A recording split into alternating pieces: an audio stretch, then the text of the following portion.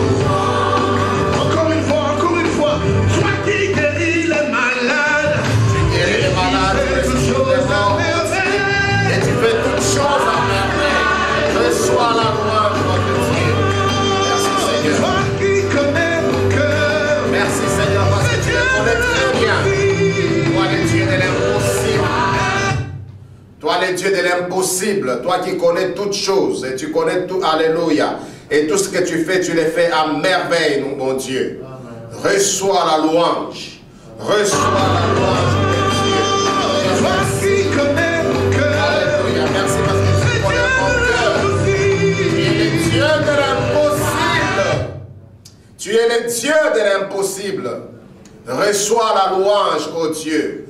Reçois la gloire dans les noms puissants de Jésus. Nous te bénissons, Seigneur, pour ton amour. Nous te bénissons pour ta présence. Et nous te bénissons pour ta gloire, ô Dieu. Louange, honneur, gloire à toi, Seigneur. Tu es vivant, tu es glorieux. Nul n'est semblable à toi. Tu es le Dieu de l'impossible et tu fais toutes choses à merveille. Seigneur, merci parce que tu n'as jamais été en retard. Seigneur, merci parce que tu n'as jamais été après l'heure. Avant les temps, c'est toi, et après, c'est toujours toi, ô Dieu. Les temps, c'est en toi, Seigneur Dieu. Reçois la louange. Reçois la gloire ce que nous t'apportons, Seigneur, ce matin et en ces jours de Pentecôte, ô oh Dieu. Reçois ces sacrifices d'adoration, ces sacrifices de louange, ô oh Dieu. Seigneur, merci, merci parce que tu es vivant. Merci parce que tu es glorieux. Nul n'est semblable à toi. Tu es le véritable Dieu. Alléluia. Merci Seigneur. Alléluia. Est-ce que Dieu est un peuple reconnaissant, Seigneur Seigneur, merci. Alléluia. Oh Dieu. Seigneur, merci parce que ma destinée n'est pas bloquée à cause de toi, Seigneur. Il a décidé que ce serait la fin de la captivité. Oh, Yamanes peux Rebayeshi. exploser en louange et en action de grâce Ouye Beneskal, Manes de Reçois la louange, mon Dieu. Reçois la gloire. Merci, Seigneur. Alléluia. Oui, Seigneur, merci pour tes bontés. Et merci pour ta grâce infinie.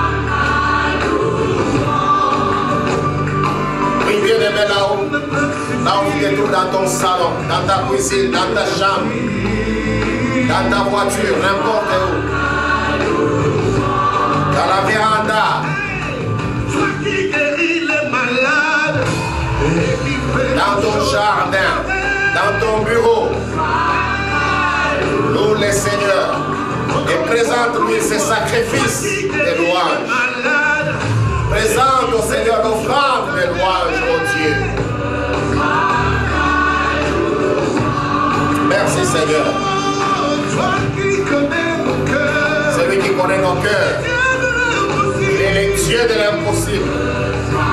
Bien-aimé, si tu peux croire au Dieu de l'impossible. Oh Jéhovah,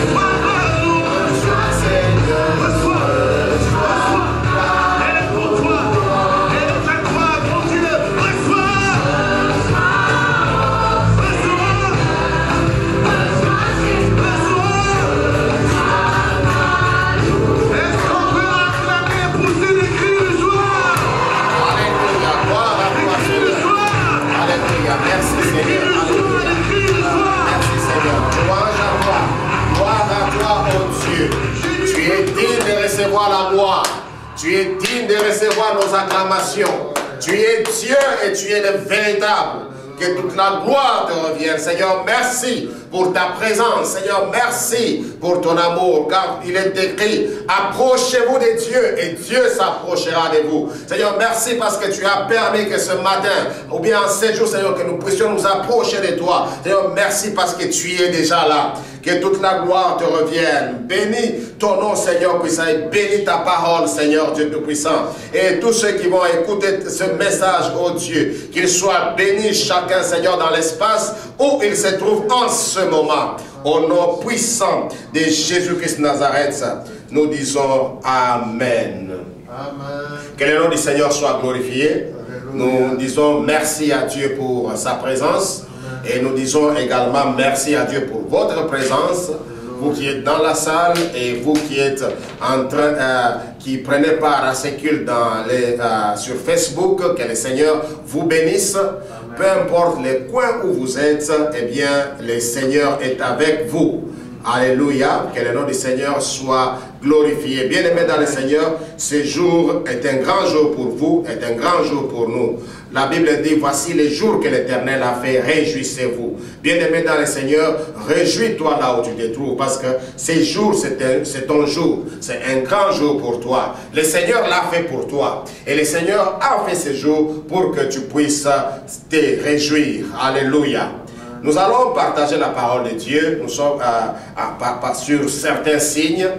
Parce qu'aujourd'hui, où l'église chrétienne est en train de célébrer la, Pentecôte, eh bien, euh, c'est vraiment un très grand jour. C'est l'une des grandes fêtes de l'éternel. Souvenez-vous que parmi les fêtes de l'éternel, il y en a les, plus grandes qui sont euh, la fête de Pâques, la fête de Pentecôte et la fête, la, la Pentecôte qui fait la fête de la moisson.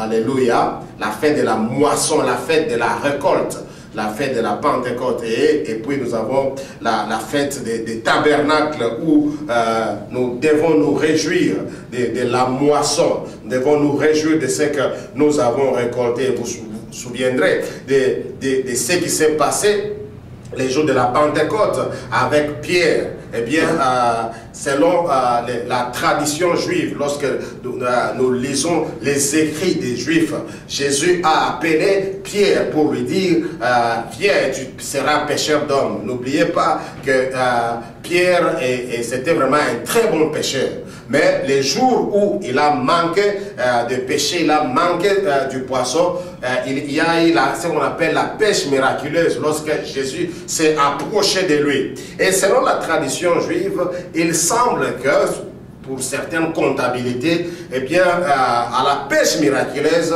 c'est que Pierre avait, c'était plus ou moins 3000 poissons. Alléluia. Et c'est ce qui s'est manifesté les jours de la Pentecôte, les jours de la moisson. bien aimé dans le Seigneur, en ce jour, je viens vous euh, je viens vous donner un signe un signe qui est le signe de la moisson. C'est parmi les signes de la fin, c'est un signe positif. Alléluia. Les signes de la moisson, les signes de la Pentecôte, c'est-à-dire être rempli du Saint-Esprit. Nous ne sommes, euh, sommes pas remplis du Saint-Esprit, ou bien on n'est pas rempli du Saint-Esprit pour amuser certaines choses. Vous voyez, parfois, il y a euh, euh, certaines choses qui font mal lorsque vous voyez,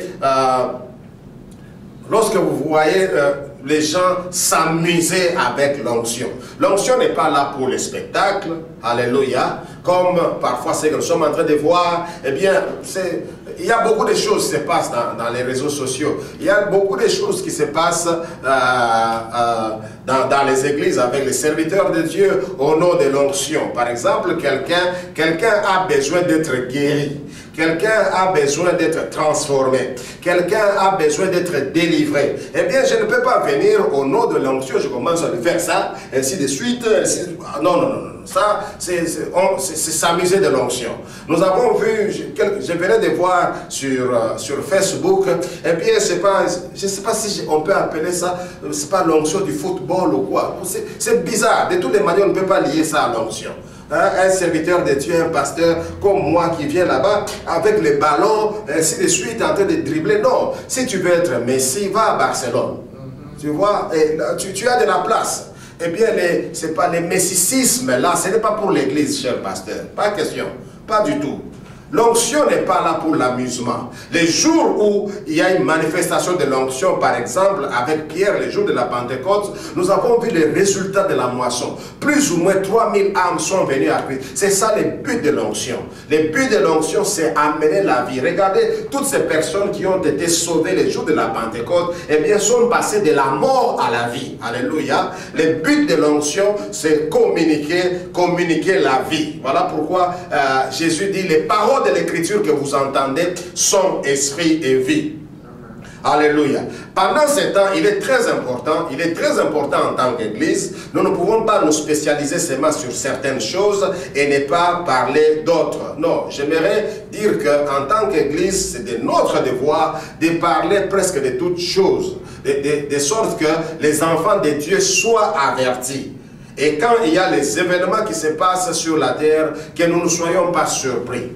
Ça, nous avons constaté, vous savez que pendant ce temps, ce que nous venons de constater, tout ce que nous sommes en train de suivre, tout ce que nous sommes en train de connaître pendant ces, moments, hein, c'est pas la mise en quarantaine, le confinement, euh, euh, distanciation sociale, euh, lavage des mains et autres, tout ce que nous sommes en train de suivre, eh bien, ça vient plus des autorités politico-administratives ou bien des autorités sanitaires.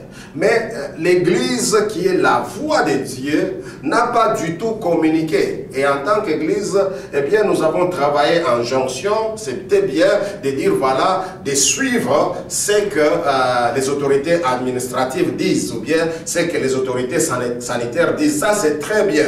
Mais en tant qu'Église, qu'est-ce que nous avons dit d'avance au peuple de Dieu? Étions-nous dans la distraction euh, ou pas? Alléluia. Et cette histoire eh bien, vient nous interpeller, nous devons faire attention. Voyez l'obéissance qui s'est passée euh, dans tous les pays, sur toute la planète eh bien, les mots d'ordre étaient les mots d'ordre reçus de l'autorité politico-administrative. Ça, c'est bien. Et c'est en tant qu'Église, nous, continuons dans cela, le danger sera que lorsque le règne de l'Antichrist viendra, eh bien, nous risquerons d'être là en train de suivre seulement ce que l'autorité administrative est en train de dire, et l'Église n'aura rien à dire. L'Église va se retrouver seulement qu'elle est déjà séduite, elle est en train déjà de marcher selon l'ordre de l'Antichrist. Voilà pourquoi, bien aimés dans le Seigneur, nous devons faire attention. Nous devons faire attention parce que c'est nous, Église, qui sommes horloge de Dieu. Alléluia.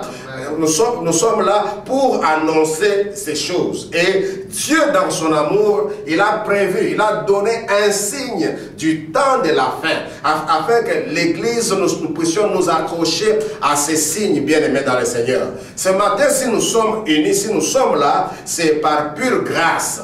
Nous sommes là par la grâce de Dieu. Personne euh, n'a choisi d'être là en ce moment. Mais à cause de la grâce de Dieu, nous sommes là. Voilà pourquoi, bien aimés dans le Seigneur, nous avons tous besoin de Dieu. Le monde a besoin de Dieu. Le monde a besoin de Dieu. Ce matin, euh, avec Pasteur, nous avons partagé quelque chose qui, qui s'est passé. Eh bien, dans la conversation que nous avons eue, nous avons tout simplement compris que le monde a besoin de Dieu. Alléluia. Le monde a besoin de Jésus. Bien aimé dans le Seigneur, dans tous les domaines de la vie, les médecins ont besoin de Jésus. L'armée, la police a besoin de Jésus. Les gouverneurs ont besoin de Jésus. Les charpentiers ont besoin de Jésus. C'est pas les motocyclistes ont besoin de, de Jésus. Euh, les infirmiers ont besoin de Jésus. Les élèves ont besoin de Jésus. Euh, les enseignants ont besoin de Jésus. Le monde a besoin de Jésus.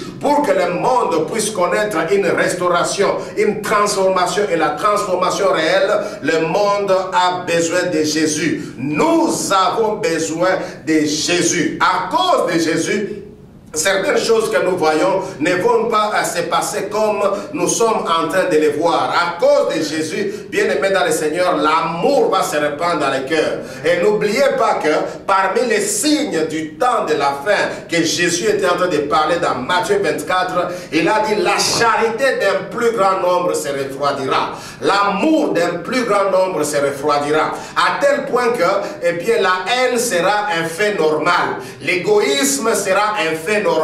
C'est pas la tuerie sera, sera un fait normal. Pourquoi? Parce que l'amour d'un plus grand nombre va baisser. Pour pallier à cela, nous avons besoin de Jésus. Alléluia. Nous avons besoin de Jésus. Et c'est grâce à lui que nous sommes là. Parce que c'est grâce à lui que nous sommes là, bien aimés dans le Seigneur, soyons reconnaissants tous les jours. Tous les jours lorsque tu te lèves, dis merci à Jésus. Tous les jours lorsque tu lèves, dis merci à Jésus. Dans, sur cette planète, regardez ce qui se passe, les, les, tueries qu'il y a eu, et euh, une chose qui s'est passée par exemple dans, dans notre pays d'origine, le Congo, où euh, une maison a été brûlée avec une famille. On parle d'un jeune homme de 36 ans, avec son épouse, qui qu'on suppose aussi très jeune, et avec leur bébé de 2 ans. Regardez une famille qui vient de commencer. Une famille qui avait des rêves. Et ces jours-là, certainement, avant d'aller au lit, ils avaient des choses qui s'étaient dites. Alléluia. Et le lendemain, eh bien, c'est la fin de cette famille. Et la belle-mère y compris. La belle-mère, certainement, était là, nous connaissons la tradition chez nous. Après la naissance, c'est pas de, de, de, leur petite fille ou quoi, je sais pas. Eh bien, euh, la, la, la mère est allée assister sa fille eh bien, l'assistance s'est transformée à la mort.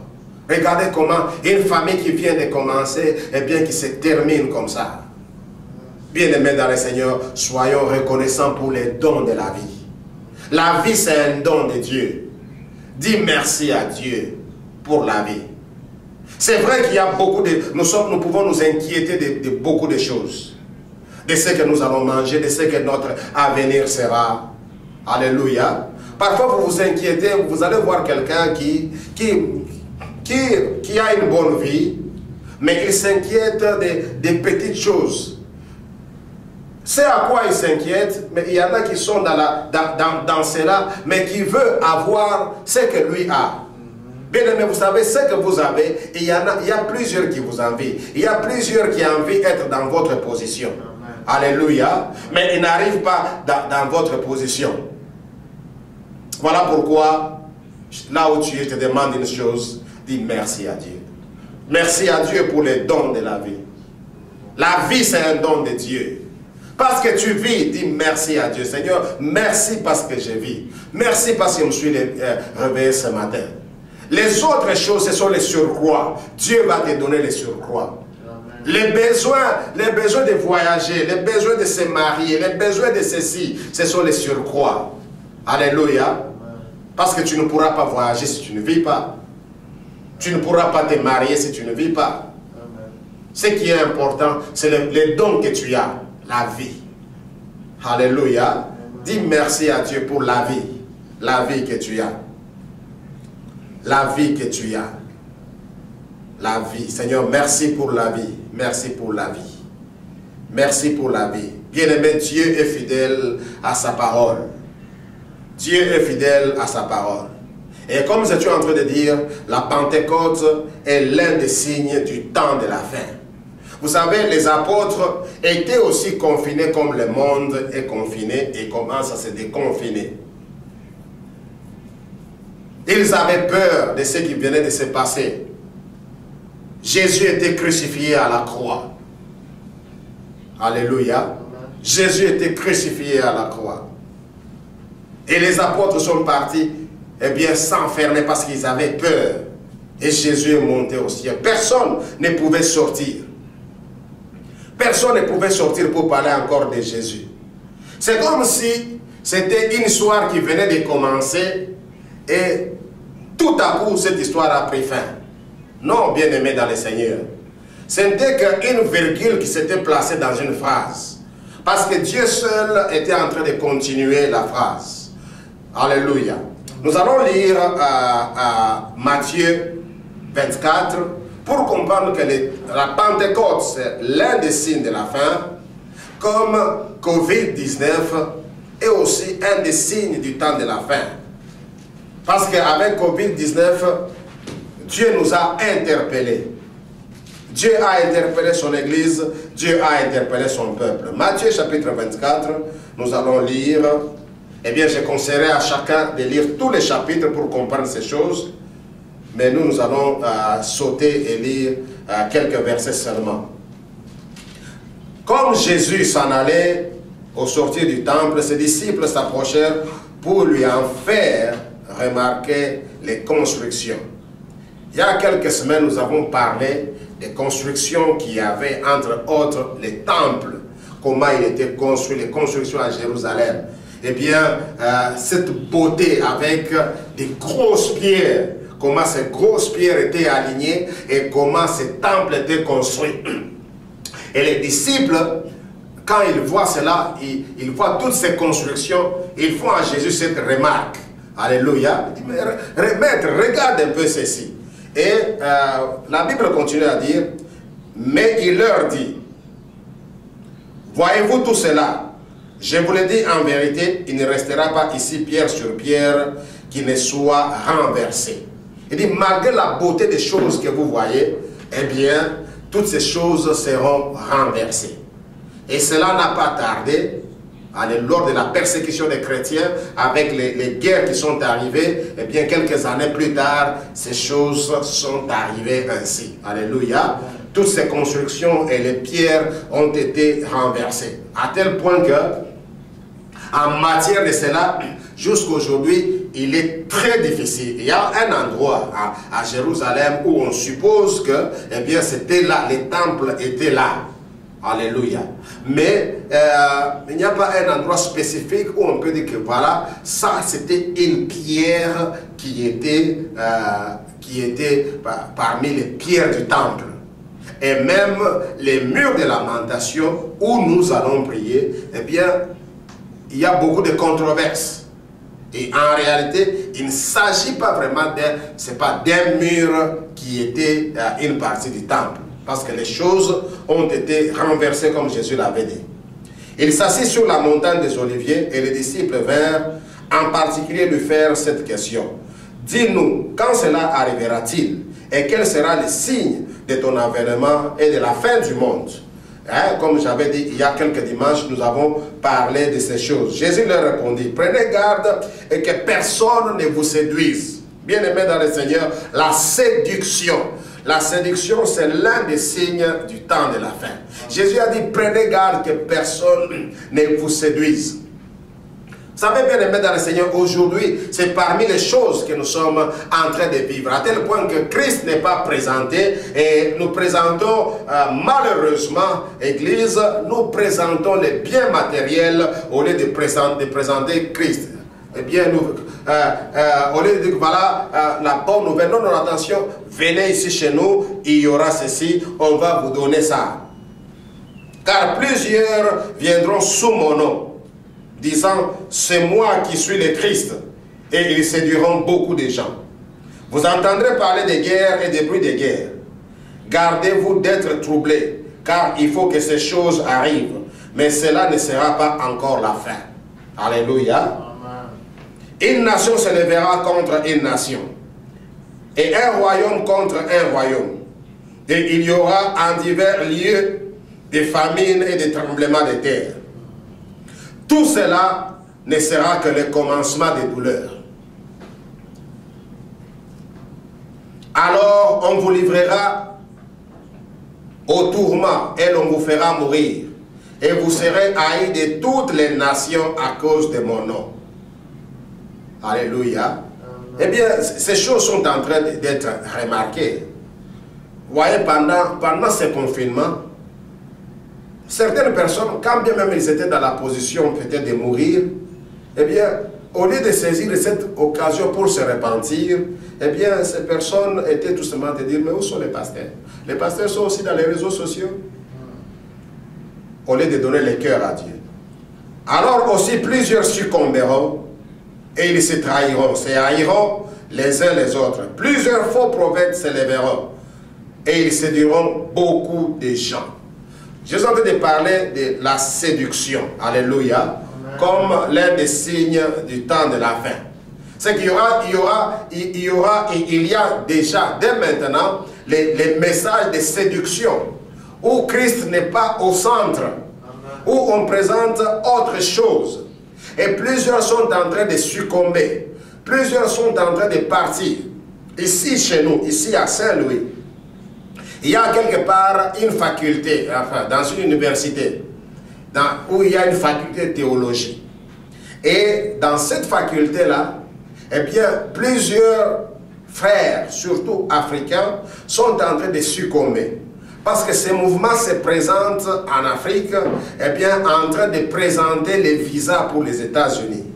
Et plusieurs trouvent cette facilité pour dire, quelqu'un dit qu'il a beaucoup rêvé pour être aux États-Unis. Et il s'inscrit. Vous voyez quelqu'un qui était ingénieur, il s'inscrit dans ces choses pour venir faire la théologie. Eh bien, c'est un mouvement où on présente l'homosexualité. Quand tu viens, tu es comme un prisonnier. Alléluia. Tu entres dans cette affaire comme un prisonnier. C'est ici, ici. Et j'ai déjà été en contact avec les étudiants de cette université. Une fois même, un étudiant qui venait euh, du Nigeria, eh bien, devait venir participer avec nous dans les services. Mais la personne qui était avec cet étudiant a refusé que d'habitude ne sorte pas. Alors vous venez, soi-disant, vous venez faire la théologie, vous avez des visas, eh bien, on vient, on, vous bombarde une autre doctrine, eh bien, vous devenez apostate, ah, vous sortez de là, vous êtes venu aux États-Unis, mais pour vous perdre vous-même et perdre votre âme. N'est-ce pas, Jésus dit, que servirait-il à un homme, alléluia, de gagner tout le monde s'il se détruisait lui-même, s'il perdait son âme? Que vous servirez de venir en Amérique si la finalité sera aller en enfer? Alléluia. Voilà pourquoi nous devons faire attention. Il y aura des séductions. Il y a des choses, bien aimées, qu'on viendra vous présenter avec gratuité. Ne vous fiez pas à cela. Avant de prendre quelque chose, posez-vous la question, est-ce que Jésus est au centre de cela? Est-ce que ce que je veux faire, c'est la volonté de Dieu? Et parce que l'iniquité se sera accrue, la charité d'un plus grand nombre se refroidira. Nous avons dit ça. Tout ce qui se passe, tuerie et autres, eh bien c'est le manque d'amour. Voilà pourquoi nous avons besoin de Jésus. Mais celui qui persévérera jusqu'à la fin sera sauvé. Cette bonne nouvelle du royaume sera prêchée dans le monde entier pour servir de témoignage à toutes les nations. Alors viendra la fin. Alléluia. Et il y a plusieurs signes qui vont marquer la fin. Et eh bien, si nous continuons dans ce chapitre de, Matthieu, nous allons trouver presque les résumés de tous les différents signes. Et l'un des signes que la Bible parle, ce sont des pestes. Entre autres, ce que nous pouvons dire aujourd'hui, ce qui se passe euh, avec cette pandémie de Covid-19, eh bien, c'est l'un des signes où nous devons, en tant qu'Église, faire attention. Tantôt, nous avons dit ceci, eh bien, nous avons tous observé ce que les autorités, et nous avons même relayé cela, ce que les autorités administratives ont annoncé. Alléluia. Mais en tant qu'Église, eh bien, nous n'avons pas, jusque-là, personnellement, je n'ai pas quel est le plan de l'Église par rapport aux choses qui sont en train de se passer? C'est seulement, parfois nous commençons maintenant, aujourd'hui, à réclamer que voilà, les écoles sont fermées, on commence à ouvrir ceci, les supermarchés, on commence à les ouvrir, et eh bien les, les, euh, eh bien, les les marchés, on commence à les ouvrir, mais on garde encore l'église. Oui, que ces choses arrivent comme ça pour que nous, église, nous puissions comprendre que nous ne pouvons pas être dans un profond sommeil. Nous devons nous réveiller pour annoncer les choses à nos gouvernements. Alléluia. Et nos gouvernants, maintenant, prendront ces choses et les annoncer au peuple de Dieu. Il est écrit, plusieurs viendront à mon nom et ils séduiront plusieurs. La séduction, la, présenter les faux Jésus. La séduction sera l'un des signes de la fin. Bien aimé, ce texte qui est long, il enseigne beaucoup de choses du temps de la fin. Mais nous ne parlons pas de, de tous ces signes, peut-être nous pourrons revenir ça. Parlons d'un signe qui s'est qui s'est réalisé les jours de la Pentecôte, mais ce signe est aujourd'hui encore d'actualité. La, la descente du Saint-Esprit. N'oubliez pas que Jésus, lorsqu'il devrait monter, il dit, je vous enverrai un autre consolateur. Lorsque Jésus parlait d'un autre consolateur, il était en train de dire que je vous enverrai un autre moi. Alléluia, qui viendra, pas peut-être de la manière dont moi je suis venu, Jésus est venu par la chair, il est né, ainsi de suite à Bethléem, nous l'avons vu, il a traversé dans les rues et autres, nous l'avons vu. Mais lorsque Jésus était en train de parler d'un autre, lui, il parlait du Saint-Esprit, il parlait de son esprit, il dit, je vous enverrai un autre consolateur. Alléluia. Et les jours de la Pentecôte, nous sommes dans euh, Actes des Apôtres.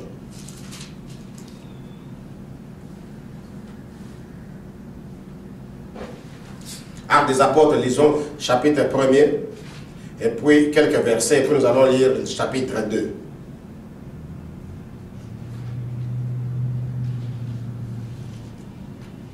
Théophile, j'ai parlé dans mon premier livre de tout ce que Jésus a commencé de faire et d'enseigner dès le commencement, jusqu'au jour où il fut enlevé au ciel, après avoir donné ses ordres par le Saint-Esprit aux apôtres qu'il avait choisis.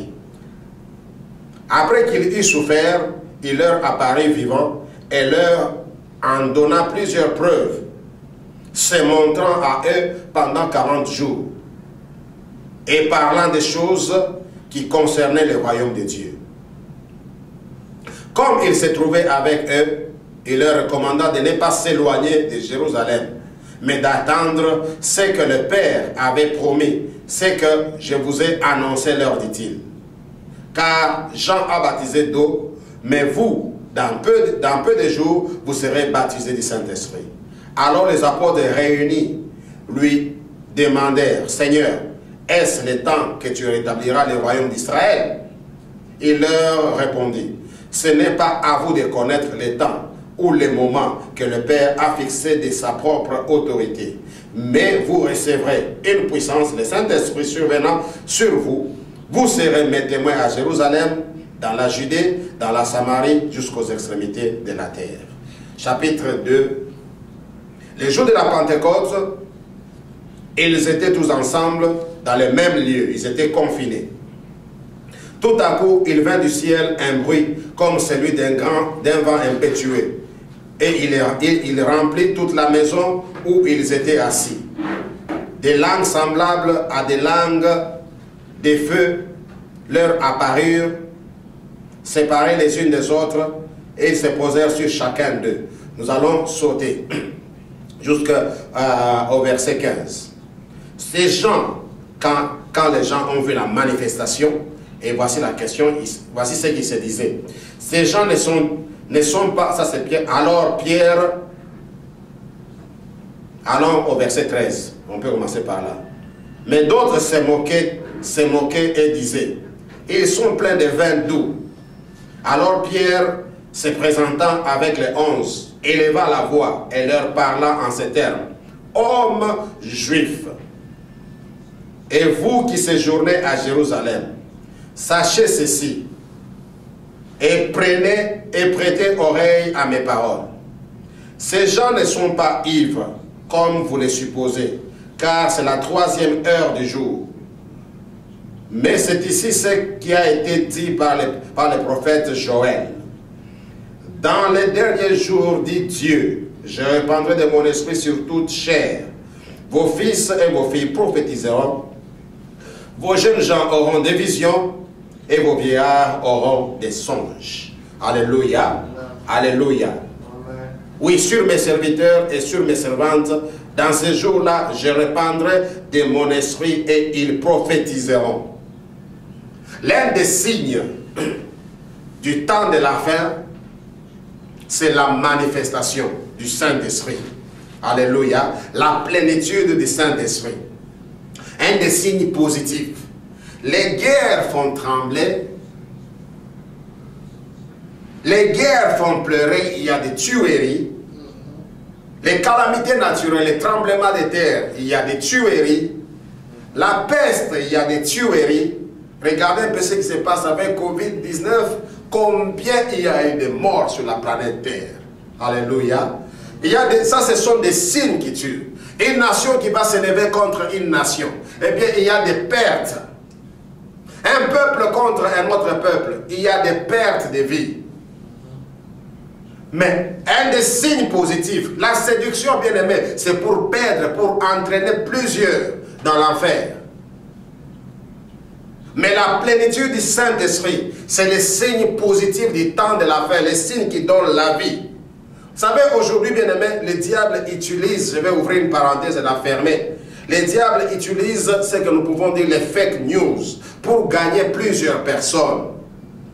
Au fait, il y a des choses, l'ennemi est en train de préparer, eh bien, pour euh, euh, faire croire aux gens à la fausseté, pour faire croire euh, aux gens à, douter de plusieurs choses.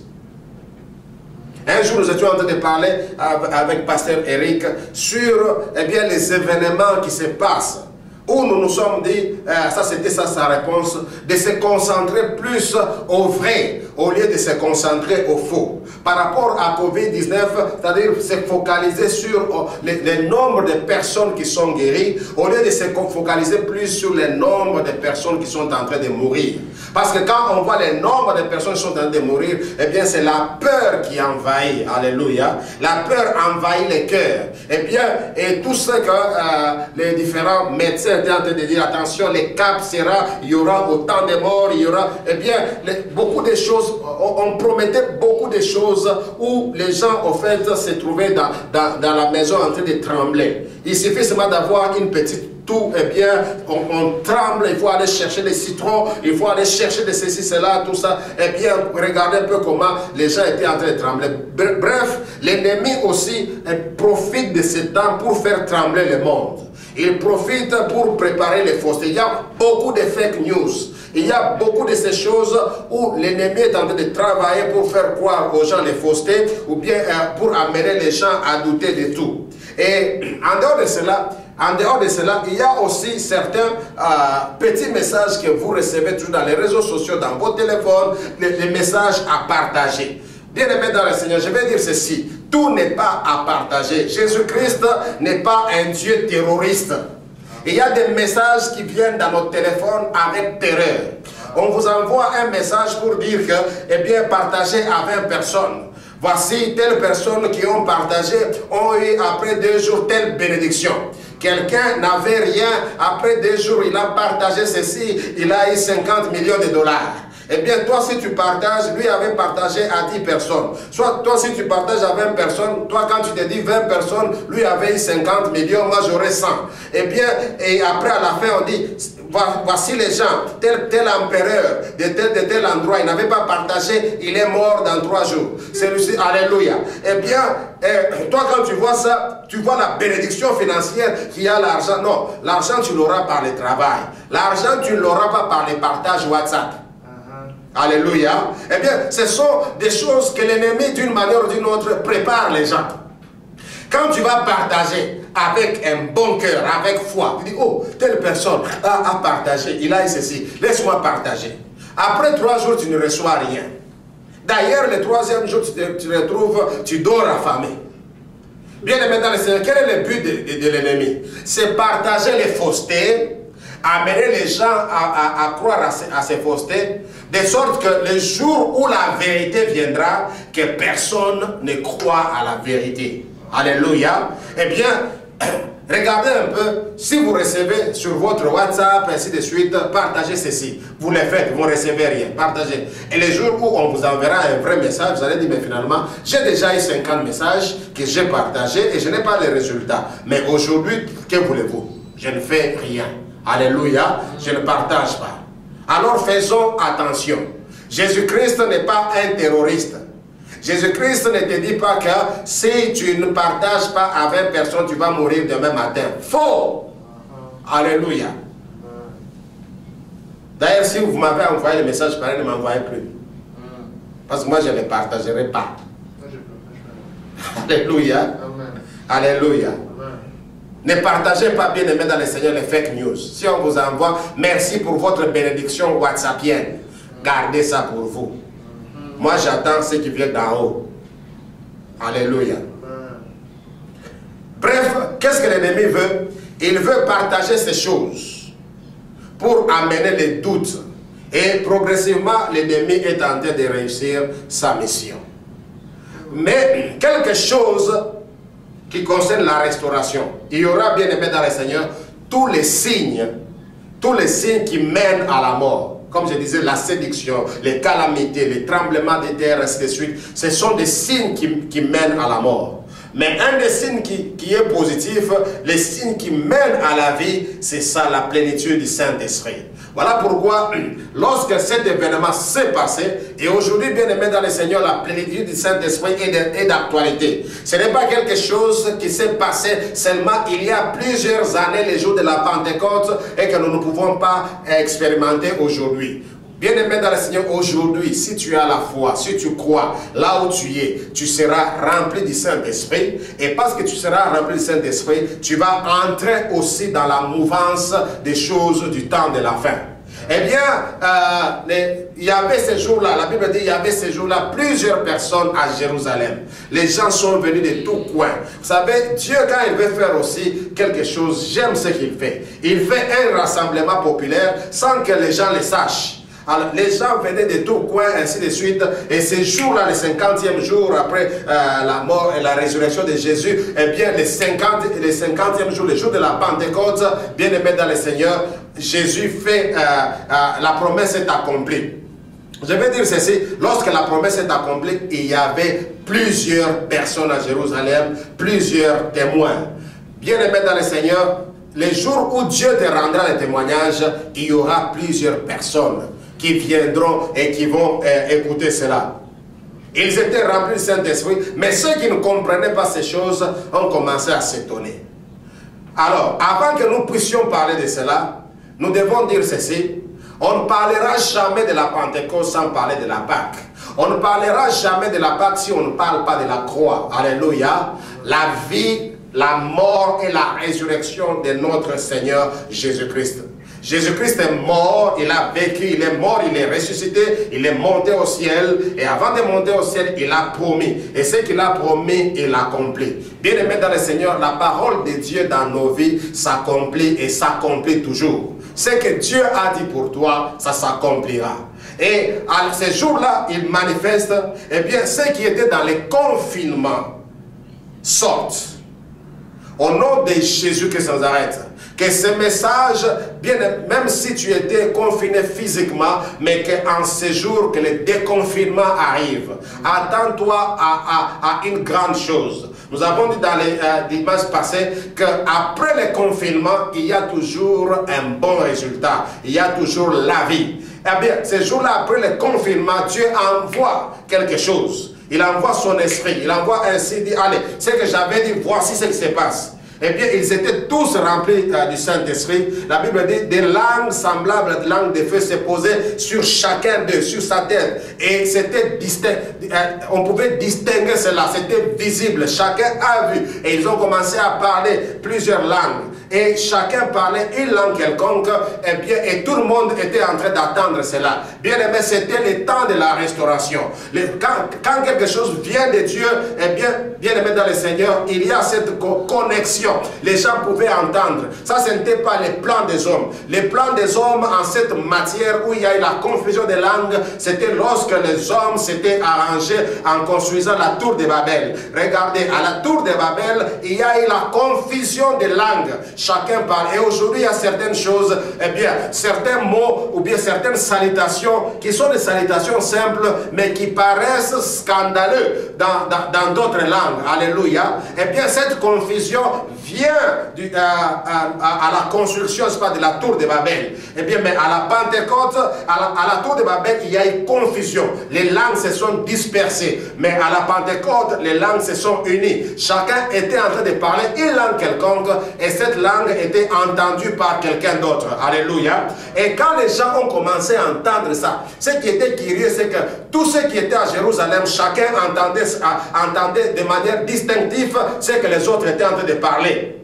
Alors il s'est dit, mais finalement, ces gens sont ivres, mais ils étaient en train d'entendre les choses qui sont censées. Et Pierre, maintenant, quand il entend cela, il s'approche et dit, ces gens ne sont pas ivres comme vous le dites. Ces gens ne sont pas ivres comme vous le croyez. C'est que Dieu a promis par les prophètes Joël en disant, dans les derniers jours, dit Dieu, je répandrai de mon esprit sur toute chair. Bien-aimés dans le Seigneur, nous sommes au temps de la fin. Le temps où Dieu, où Pierre a parlé, c'est ce temps où nous serons remplis du Saint-Esprit pour faire les choses telles qu'énumérées. Alléluia. Il dit ceci. Nous sommes dans le chapitre 2.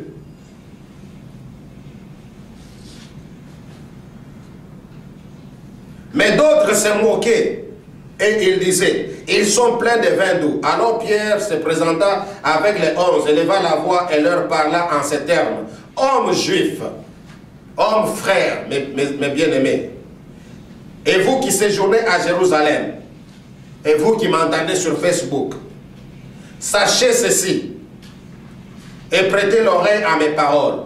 Ces gens ne sont pas ivres comme vous supposez, car c'est la troisième heure du jour. Mais c'est ici ce qui a été dit par le prophète Joël. Dans les derniers jours, dit Dieu, je répandrai de mon esprit sur toute chair, et vos fils et vos filles prophétiseront. Vos jeunes gens auront des visions, et vos vieillards auront des songes. Bien-aimés dans le Seigneur, Dieu vient pour équiper son peuple. Alléluia. Dieu vient dans cette Pentecôte, en ce temps spécial, où tu as compris le confinement. Parce que les douze étaient euh, dans le confinement et tous les disciples étaient dans le confinement. Dieu a voulu que dans cette Pentecôte, où tu sors aussi de ces confinements, que tu puisses comprendre même la dimension physique où étaient les apôtres. Voilà pourquoi nous avons dit ceci, c'est Covid-19, c'est quelque chose qui devait nous, nous, nous interpeller et surtout de ramener notre communion avec Dieu. Alléluia. Quand ils étaient là, eh bien, ils priaient. Ils ne s'amusaient pas. Ils étaient dans, la, dans les confinements, ils étaient en train de prier. Prends à profit ces moments. Saisis de ces temps. Prie. Parce que lorsque tu vas sortir, bien aimé, c'est pour manifester la gloire de Dieu. Et alors, les, jours du, confinement, les jours de la Pentecôte, euh, ils sont remplis du Saint-Esprit, ils étaient en train de parler des choses, des choses significatives, eh bien, les gens s'étonnaient dit, mais finalement, ces gens sont ivres. Et Pierre s'approche et dit, attention, et regardez, ici c'est les pierres qui avaient renié Jésus. Alléluia. Devant une femme qui n'était pas courageuse. Mais ce jour-là, à, cause du Saint-Esprit, prend le courage. Il dit, euh, ces gens que vous voyez ne sont pas ivres comme vous supposez. C'est ici ce que le prophète Joël avait annoncé. Qu'est-ce qu'il avait dit? En ces jours, dit Dieu, je répandrai de mon esprit sur toute chair. Alléluia. Bien-aimés, vous prophétiserez, vous aurez des songes. Il a énuméré ces choses. C'est temps, mes amis, c'est ce temps. Le temps où Dieu est en train de répandre son esprit. Il est en train de répandre son onction pour la moisson du temps de la fin. La Pentecôte, c'est la fête de la moisson. La Pentecôte, c'est la fête de la restauration. La Pentecôte, c'est la fête de la restauration. J'ai dit ceci, dans les livres juifs, on dit euh, la pêche miraculeuse avait fait gagner à Pierre au moins 3000 poissons. Et ces jours-là, ce sont des choses qu'on a vécues encore à la Pentecôte. Nous avons dit ceci, à, à, la tour de Babel, il y a eu la confusion des langues. Mais à la Pentecôte, il y a eu l'unicité du langage. Alléluia. Les gens pouvaient parler dans des langues différentes, mais ils avaient tous le même langage parce que les gens entendaient cela. Bien-aimé, Dieu est en train de venir équiper son peuple. Vous équipez vous. Pendant ce temps, vous avez besoin d'être rempli du Saint-Esprit. Là où tu es, là où tu es, dit Saint-Esprit, j'ai besoin de toi. Manifeste-toi. J'ai besoin de toi. Remplis-moi de ta présence. Tu as besoin de ces choses parce que ça, c'est le temps de la moisson. Alléluia. Pendant la moisson, si tu n'es pas rempli du Saint-Esprit, bien-aimé dans le Seigneur, tu vas marcher comme, la Bible dit, un peuple sans révélation, c'est un peuple sans frein. Tu vas marcher ça et là, tu ne sauras où partir. Mais lorsque tu es rempli du Saint-Esprit, tu vas vivre ces choses. Et le désir d'être rempli du Saint-Esprit. Car être rempli du Saint-Esprit, c'est le signe positif du temps de, de la fin pour faire face pour faire face aux défis du temps de la fin. Pendant ce temps, bien aimé, dans tout ce qui se passe sur la terre, si tu n'es pas rempli du Saint-Esprit, tu ne feras pas face aux défis du temps de la fin. Alléluia. Et il dit, c'est ce qu'avait dit le prophète Joël. En ces, en ces jours, dit Dieu, je répandrai de mon esprit sur toute chair. Vos fils et vos filles prophétiseront. Bien aimé, tel que tu es là, tu es fille, tu es fils de quelqu'un. Alléluia. Parce que tu es fille, parce que tu es fils, tu as, ah, tu as besoin d'être rempli du Saint-Esprit afin que cette parole de l'Écriture s'accomplisse. Vos jeunes gens auront des visions. Nous avons besoin des visions. Nous avons besoin en tant qu'Église, nous avons besoin en tant que peuple de Dieu de donner, les, ainsi dit l'Éternel, la coordination. Le monde a besoin d'entendre certaines choses. Et ces choses ne peuvent venir que de nous, enfants de Dieu. Ces choses ne peuvent venir que de toi. Bien-aimé dans le Seigneur, si tu es déjà rempli du Saint-Esprit, demande à Dieu de te remplir, remplir encore. Car tu as besoin de l'onction de Dieu. Tu as besoin de l'onction de Dieu pour faire face aux défis actuels de l'humanité. Tu n'as pas besoin de l'onction pour amuser les gens. Ça, c'est triste, comme nous avons dit. L'onction n'est pas là pour amuser les gens. L'onction n'est pas là pour commencer à faire certains signes un peu bizarres. Oh, tombe à gauche, tombe à droite, fais ceci. Non, l'onction est là pour donner la vie. En ces temps de la moisson, en ces temps de la fin, tu as besoin d'être rempli parce que tu as les capacités nécessaire pour donner la vie. Dis Alléluia, Alléluia. Ah, merci Seigneur, merci Seigneur. L'onction c'est pour la vie. L'onction c'est pour la vie. L'onction n'est pas là pour le théâtre. Tu es, je crois que tu es un bon acteur. Si tu es un bon acteur, va à Hollywood ou bien va même à, Atlanta ou Perry, Perry a ouvert, je sais pas, quelque chose comme ça. Oui, oui, oui, oui. Les, euh, un, centre de, de, cinéma. Va là-bas, tu vas faire le cinéma. N'est-ce pas? Hein? Ouais. Alléluia. Atlanta, je pense. Va, va là-bas, va là-bas, et eh bien tu vas faire les, cinémas. Bien aimé dans le Seigneur, tu n'as pas besoin de l'onction pour amuser, mais tu as besoin de l'onction parce que Dieu te donne, Dieu te capacite, parce qu'il croit en toi, il veut que toi tu puisses travailler dans la moisson. Alléluia, dans la moisson. La Bible dit, levez les yeux et regardez. Bien aimé dans le Seigneur, lève les yeux et regarde. Regarde autour de toi. Regarde combien de personnes sont perdues. Jésus n'a pas besoin que tu puisses aller séduire les gens en présentant n'importe quoi. Non, Jésus ne se trouve pas dans les gift cards. Pas question. Alléluia. Jésus ne se trouve pas dans des cartons. Pas question. Jésus se trouve dans sa parole. Les gens ont besoin de Jésus. Va parler de Jésus. Tu as besoin de cela. Tu as besoin du Saint. Tu as besoin d'être rempli du Saint-Esprit pour faire face aux défis de l'humanité actuelle. Nous avons dit ceci. Plusieurs signes du temps de la fin amènent à la mort. Mais être rempli du Saint-Esprit amène à la vie. Et Dieu, c'est le signe de la vie.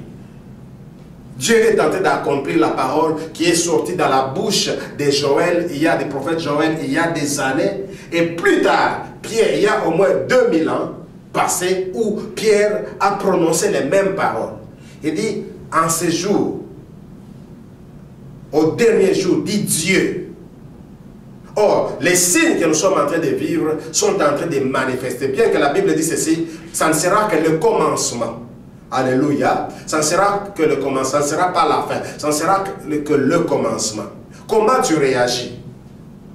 Bien aimé, nous devons nous presser. Nous devons nous presser à gagner les âmes à Jésus. Nous devons nous presser à penser au salut des autres.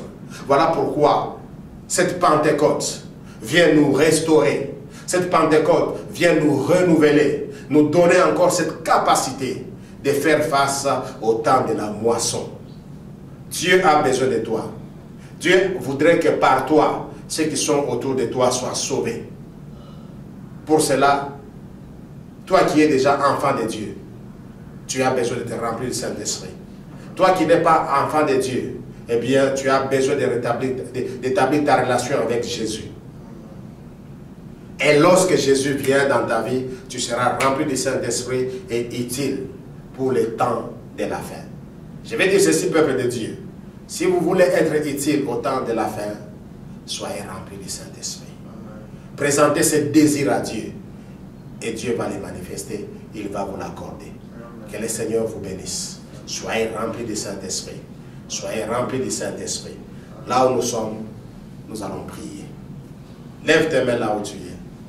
Tu vas prier. Seigneur, merci. Merci Seigneur, merci. Merci, ô Dieu. Louange, gloire à toi Seigneur. Nous te bénissons, nous te bénissons Yahweh. Nous te bénissons pour ton amour. Nous te bénissons pour ta présence, ô Dieu. Seigneur, merci, merci, merci. Merci Seigneur. Bien-aimé, dis merci à Dieu. Dis merci à Dieu. Alléluia, Alléluia. Et on peut chanter ça en anglais. Merci Seigneur. Oh, Yamalas Konrabara Shinte. Rikayama. Ne sois pas pressé de partir. Nous allons dire quelque chose à Dieu avant que nous puissions nous séparer. Merci Seigneur. Ushi Keremaye. Uriamala Wese Kaleme Levantara Mama Mama Shendarabaye. Ushi Yakolamaya Sarake Yakendereke Urialesa. Louange, gloire à toi, oh Dieu. Merci Seigneur parce que tu es vivant. Seigneur, merci parce que tu es glorieux. Nous voulons être encore remplis, remplis, remplis, remplis, remplis, remplis de toi, remplis du Saint-Esprit. Remplis, Alléluia. Bien-aimés dans le Seigneur, soyez remplis du Saint-Esprit. Soyez remplis du Saint-Esprit au nom de Jésus-Christ. Soyez remplis du Saint-Esprit, Seigneur, merci. Soyez remplis du Saint-Esprit, soyez remplis du Saint-Esprit. Au nom de Jésus, Shekeria Malawente, Riake Sekonto Koromaya Shandara Mama Mama. Soyez remplis du Saint-Esprit, soyez remplis du Saint-Esprit. Ushekeria Bala Santa, Oye Kente Kolamaye, Sonte Koramaya Shandaraba. Soyez remplis du Saint-Esprit, Seigneur. Merci, merci, merci, Seigneur. Merci, merci. Merci Seigneur, nous bénissons ton nom, nous glorifions ton nom. Louange à toi, gloire à toi, oh Dieu. Seigneur, merci. Alléluia. Gloire à toi, oh Dieu. Gloire à toi, oh Dieu. Alléluia. Alléluia. Seigneur, merci. Merci Seigneur.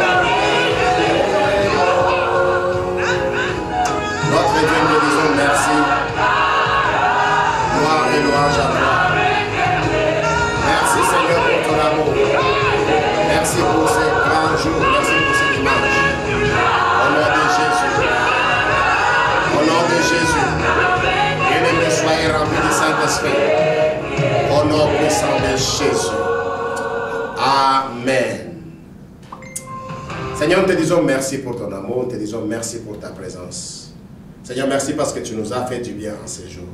Que toute la gloire te revienne. Au nom de Jésus. Merci, Peuple de Dieu. Notre Dieu, te disons merci pour ces dîmes et offrandes. Merci pour ton peuple qui, malgré la mise en quarantaine, malgré le confinement, Seigneur, il contribue financièrement à ton œuvre. Bénis les Seigneur de puissant de manière spéciale et distincte au nom de Jésus. Bénis le Seigneur Dieu Tout-Puissant financièrement et comble, Seigneur, les besoins de les cœurs dans le nom de Jésus. Peuple de Dieu, que le Seigneur vous bénisse, que le Seigneur fasse lui sa face sur chacun de vous, que le Seigneur vous donne sa paix et sa grâce. Dites avec moi, oui, le bonheur et la grâce. Oui, le bonheur et la grâce m'accompagneront tous les jours de ma vie et j'habiterai dans la maison du Seigneur jusqu'à la fin de mes jours. Dans le nom de Jésus. Que Dieu vous bénisse et bon dimanche chez vous. On se voit le dimanche prochain.